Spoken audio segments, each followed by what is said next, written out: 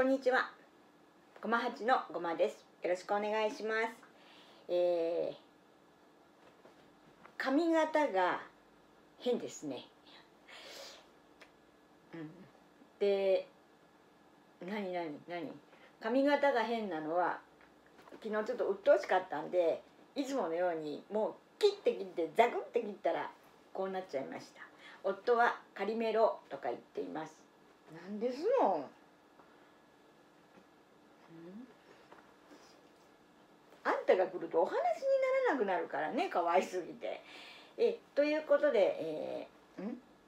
何何何？ちょっとこれ下ろしとこうかな。こうやって手をかけてくるんですよ。何何？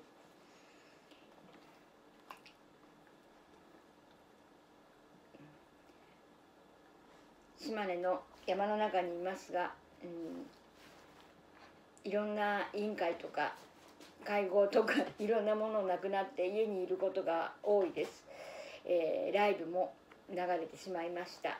はい。ということで、えー、でも穏やかなと言ってもとても忙しいやること結構いっぱいあるんですよ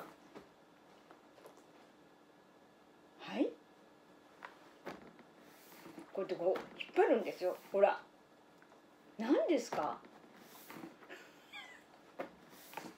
え？ー、はい。ということでまあこの犬がいるから退屈しないです。夫は普通に朝出て夜帰ってきます。はい。でまあご存知のように川と山に囲まれて森の中に住んでるようなものです。ので、えー、大変空気もいいですしさらにはこういう次亜塩素酸素水でしたっけ？こういうのでウイルスをこうやってます。元気でやっております。はい。まあ近況らしい近況と言いますか本当に、えー、皆さんはいかがお過ごしでしょうか？